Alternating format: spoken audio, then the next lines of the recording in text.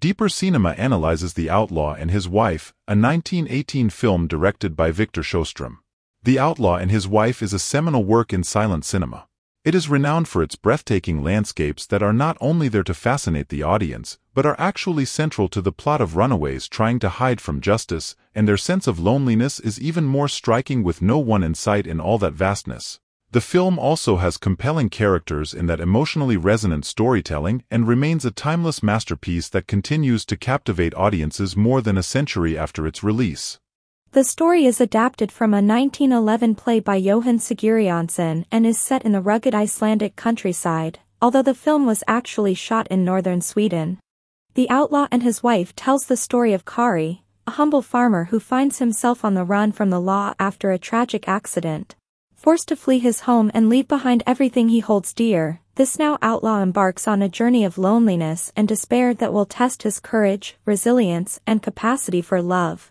What makes it more devastating is that he inadvertently involves Halla in this horrible situation, a strong-willed widow who falls in love with him and endangers her solidified social status and becomes his partner for better or for worse, mostly worse. Together, they forge a bond that transcends the boundaries of law and morality, as they navigate the challenges of life on the run, they find solace and strength in each other's arms, drawing closer together with each passing hardship and possibly crossing a certain point of no return. Victor Sjöström had been directing since The Gardener in 1912, and it is clear that he evolved a lot in those six years from that film to this one. The camera is now part of the action and not only shooting from afar, and his sense of framing and composition is already commendable, and impressively so for a 1918 film. His direction has lyrical beauty and poetic sensibility, as he captures the untamed majesty of the Swedish landscape with stunning visual imagery. From sweeping vistas of snow-capped mountains to intimate close-ups of rugged cliffs and cascading waterfalls, the film's cinematography evokes a sense of awe and wonder that mirrors the emotional journey of its protagonists. Credit is due also obviously to a great cinematographer like Julius Jaenzon. Sweden had already proven that it had a great school of cinematography, and no one could shoot landscapes and rural settings like them, and Julius Jaenzon was a giant in that field, setting a tradition that would continue to be honored in the 50s onwards with legends like Gunnar Fischer and Sven Nykvist. Although the cinematography was breathtaking and all that, Without great actors the film might have been only beautiful to look at, but not that remarkable after all. Much of the film's success is due to the mesmerizing performances of its leads. Victor Sjöström himself acts as Kari and Edith Erastoff is Hayala here, and they were lovers in real life during the shooting, to a point that Edith Erastoff got pregnant and would give birth to one of their child soon after, in what was then a clandestine relation, since she was still married to another man. Maybe that also helped their performances, since they were also in a strange situation that would only get solved once she divorced and married Sjöström right away, in 1922.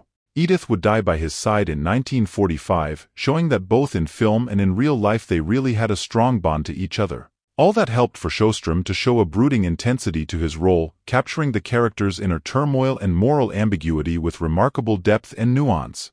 Meanwhile, Erastoff imbued Halla with a fiery spirit and fierce determination that made her a force to be reckoned with in the film, but still a person who might get too close to the point of utter despair. The Outlaw and His Wife is indeed notable for its thematic richness and moral complexity as it grapples with timeless questions of justice, loyalty, and the nature of freedom. Through the character of Kari, Sjöström explores the tension between individual desires and societal expectations, as well as the enduring struggle for autonomy and self-determination. As the couple navigate the treacherous terrain of their outlaw existence, they are forced to confront the consequences of their actions and the true meaning of loyalty and sacrifice. In one of the film's most memorable sequences, Halla and the outlaw find refuge in a remote mountain cabin, where they are pursued by a relentless posse determined to bring them to justice. As the tension mounts and the stakes escalate, Sjöström ratchets up the suspense with masterful precision, leading to a breathtaking climax that leaves audiences on the edge of their seats, although the final outcome is a little too hard to be believed and swallowed by the audience. But that sense of constant danger is made possible by another great performance, this time of John Ekman, who plays a jealous man who sees Halla falling for the outlaw and wants revenge much more than he wants justice.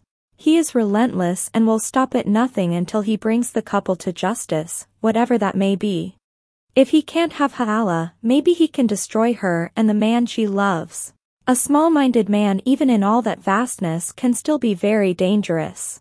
Victor Sjöström here proved that he was a top director, actor and even screenwriter not only in Sweden but worldwide. Everybody took notice of his talent, and in a few years he would emigrate to America and also have success there, in films like The Scarlet Letter, He Who Gets Slapped and The Wind.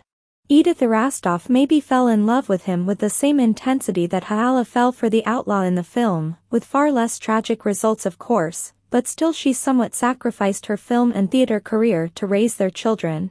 John Ekman, who also had played a small part in Sjöström's debut in The Gardener in 1912, kept working and made many movies in Sweden, and his last one was for Ingmar Bergman's To Joy, in 1950, a distant 32 years later. The Outlaw and His Wife is a solid Sweden's classic not only of the 1910s but of all times, and showed the world that cinema was quickly evolving and already deserved much more respect than many intellectuals of that time were willing to concede. Here was a resounding story that was superbly filmed and proved that silent pictures could be profound and moving and were already on their way to conquering the world and setting cinema as the most established and popular form of art of the 20th century. This was an analysis of deeper cinema to the film The Outlaw and His Wife, directed by Victor Sjöström, a film that was ranked third place by the channel in the period of 1895 to 1919. If you enjoyed this video, please like and subscribe. Thank you very much and we hope this is the beginning of a beautiful friendship.